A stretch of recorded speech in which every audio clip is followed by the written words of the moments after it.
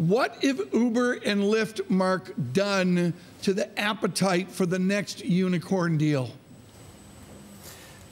Well, I think there's two ways to look at this, right? The first way is from the private markets perspective, which is I think they've given everybody the sense that we can build with a lot of capital great companies. What they've done for the public markets is, of course, a negative because they've waited too long to take their companies public, and as a result, uh, you see what happens with their share price. Their share price is below their IPO price, and I think that long term for the tech industry is not a good phenomenon. Mark, what's so important here, and this goes back to your accounting and consulting background with Arthur Andersen, is the idea that tech gets to play by a set of different rules. They do the extrapolative process of funding, and then to liquefy, they throw off a little tiny teensy weensy bit of a stub equity offering. Is that game about done?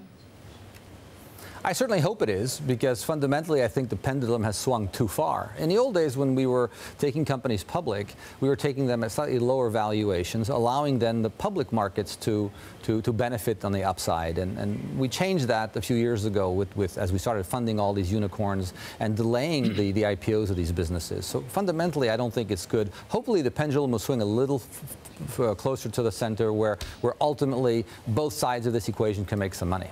Um, Mark, what's left to be disrupted? Right. So if you look at the big valuations, it's basically you know companies that kind of do what we used to do, but disrupted the way we do yeah. it. Is health the kind of the lost El Dorado?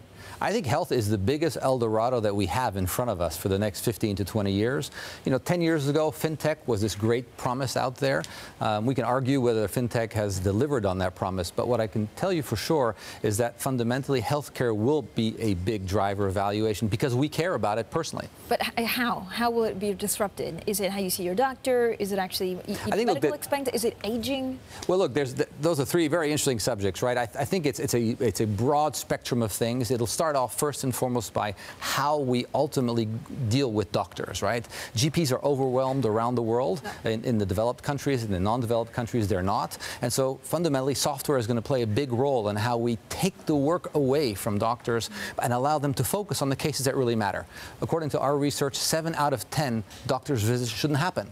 They happen in Europe and the US just because they can. Right? Why is Europe so bad at making unicorns? We're not bad about it, but we. well, we're we, not as good as the U.S. That's true. Well, I, I, if, if, I had to pick one thing, is I would say we'd have not used stock options effectively enough here.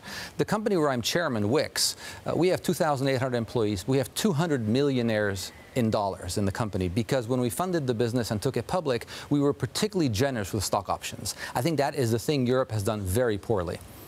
How does that change? How do you explain to Mr. Macron that if he wants to hold a lot of cocktail parties to be techie, techie, techie, that what he's really got to do is motivate and incentivize people? It's not there, isn't it?